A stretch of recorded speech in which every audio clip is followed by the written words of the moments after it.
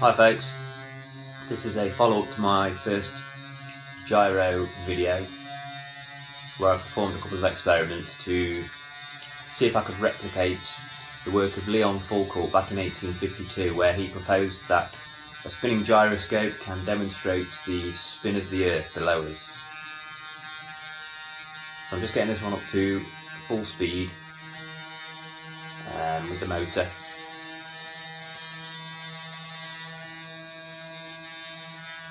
So I'll take that off, turn the motor off, and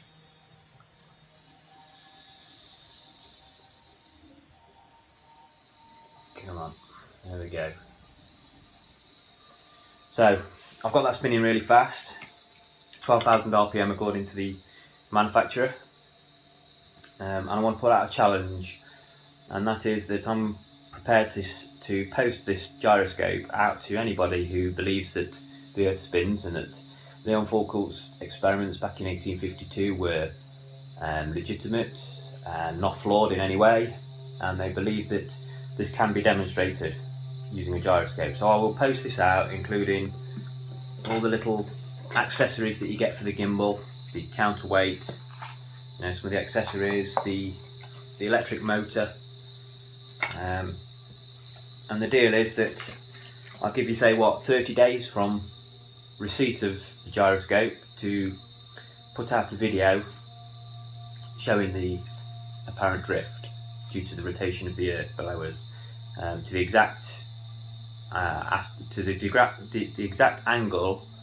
um, according to your latitude on the earth.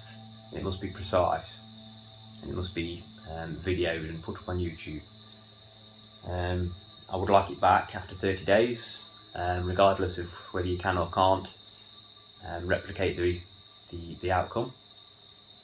Um, so I've had 33,000 views on the first video and nobody yet has come back and um, showed me any proof, you know, demonstrated anything to the contrary. Um, you would have thought it would be pretty easy. This was this was a known problem or it's apparently a known problem. It's inherent to all gyros. They all they all um, exhibit this apparent drift due to the rotation of the Earth. Um, yet, from the, the couple of people who have demonstrated this so far on YouTube, haven't been able to replicate it. I mean, some somebody must be able to replicate it. It's a known, it's an, apparently a known problem, and different technologies such as Schuler tuning have been invented to overcome it. Well, this gyroscope doesn't need any Schuler tuning because it can't be replicated and we all know that science is um, all about replication, repeatability. Um, if it can't be repeated, it's not science. Um, so there's the challenge right off the bat. Um, I'll pay for postage. Um, you're getting a gyroscope for absolutely nothing to demonstrate it on. If you don't think this one's suitable, then let us know which gyroscope, which type of gyroscope you do think would be suitable. I will purchase it, as long as it's not too much money. I'll test it, um, I'll send it to you. You can test it. Um, we'll see if there is any validity to this at all, because from the results I'm getting, there is none. So one of the problems that somebody um, came up with is that, this is just a toy. Um, I don't know, this this here is just a toy. This is a toy gyroscope and I'll spin it up now.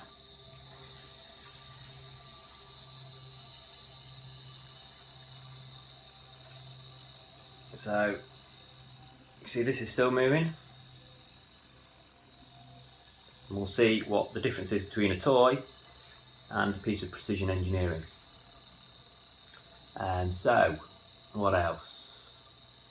Yes, in in my first experiments, I didn't clarify which direction the compass was, sorry, the um, the gyroscope was aligned, whether it was north, south, east, west, somewhere in between.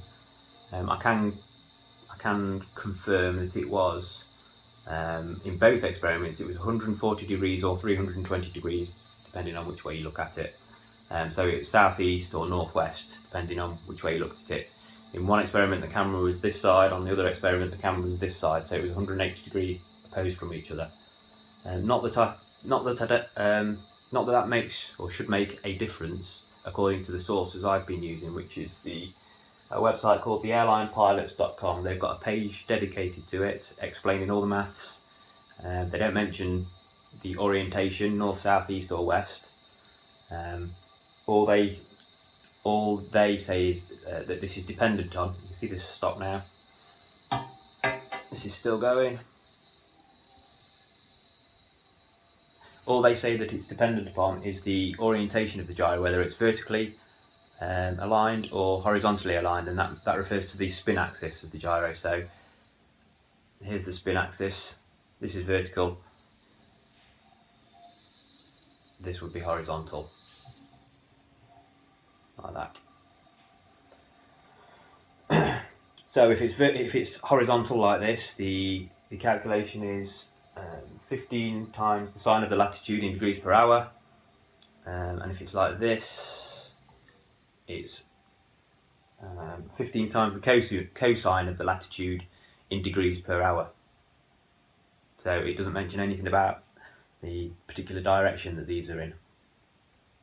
Um, another problem somebody had was that the duration that I tested it for wasn't long enough. um, I tested it for, in this sort of configuration without the motor. I tested it for six minutes, just over, and it was supposed to move 1.2 degrees in them six minutes, but it didn't move at all. Um, I'm not sure what testing it for any longer would have achieved.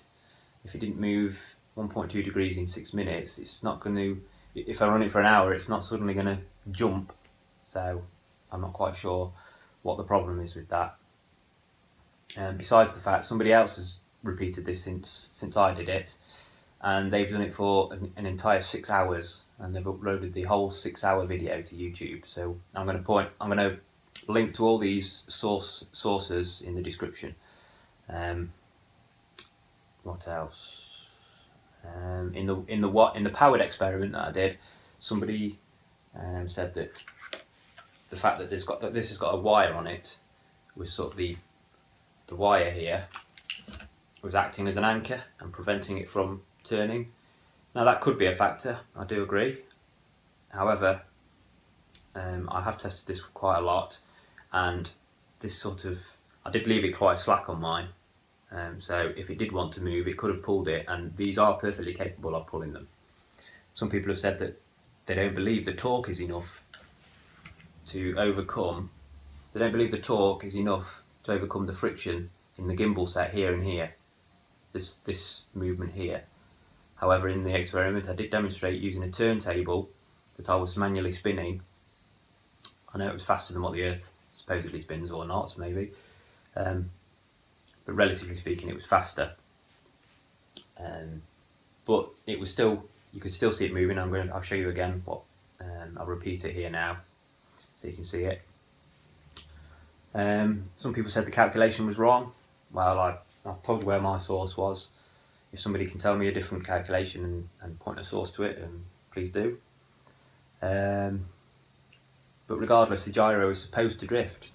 What what difference does the calculation matter if it was right or wrong, as long as it wasn't supposed to like um, rotate sort of 0.001 of a degree, and over the time I tested it for, you wouldn't have been able to see that. That's the only that's the only sort of way that the calculation could have had any bearing on it. Um, but like I say, I've, I've told you where I got the calculations from. It should have moved 1.2 degrees, but it didn't. Um, what else? Yeah, there's. I just wanted to point out that to make a good gyro, there's three properties required. Uh, one is a high rotational velocity, or high angular velocity of the flywheel. Um, the faster it's spinning, the better the better the effect. The second property is that the flywheel needs to be perfectly balanced.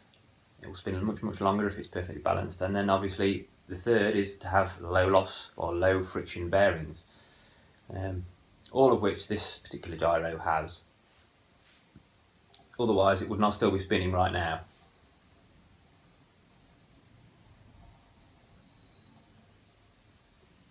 Um, one of the flaws from um, Foucault's experiments that I've discovered that um, probably played a part in it is that as these things are spinning down, the the precession is less precise. You can see now, look, it's still spinning, and it will still precess. You see? However, um, because it's spinning so slowly, there are some times when I can actually move this and it won't move.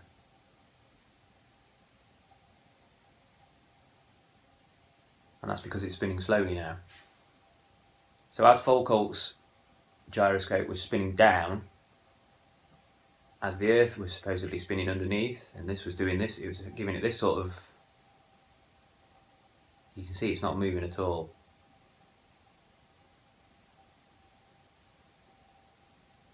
It's not actually moving at all. However, if I give it a quick. There you go.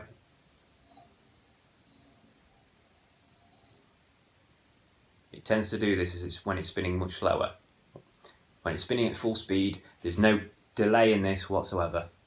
It's very, very precise. You move this and it moves that instantaneously. And this thing will spin for 19 minutes from from if I don't mess around with it because every time you move it slightly it takes some it takes some of the energy out of the flywheel. If I leave it spinning without moving it after powering it up with the motor to full speed it will spin it will spin for 19 minutes. That's what I've timed it for.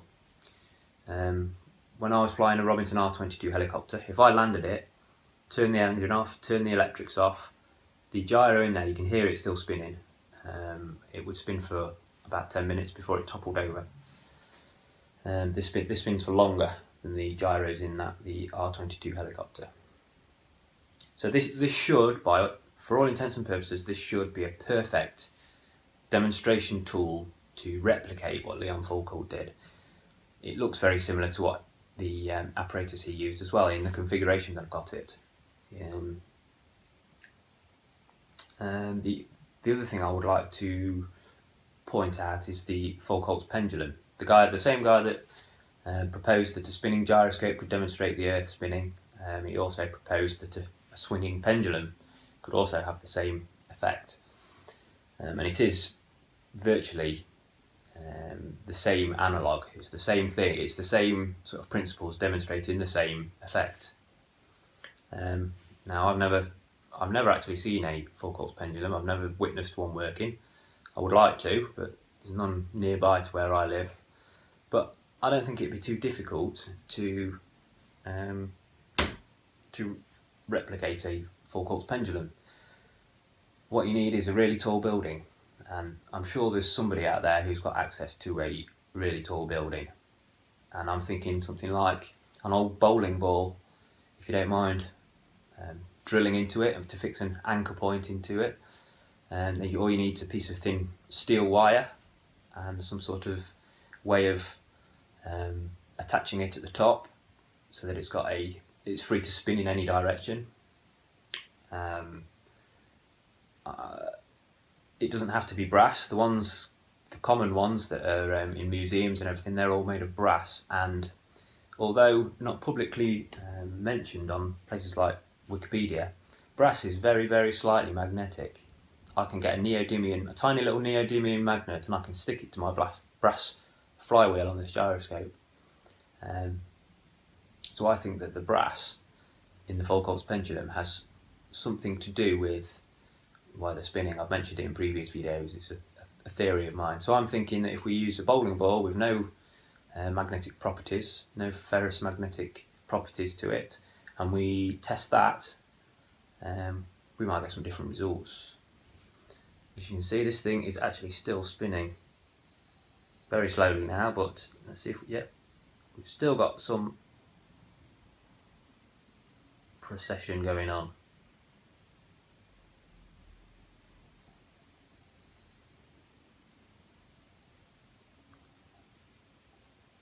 So if you are up for the challenge, any spinning earth proponents out there who would like to um, have a go at debunking this, showing some sort of spin, using either this gyroscope or any other gyroscope, any other gyroscope, then please let me know.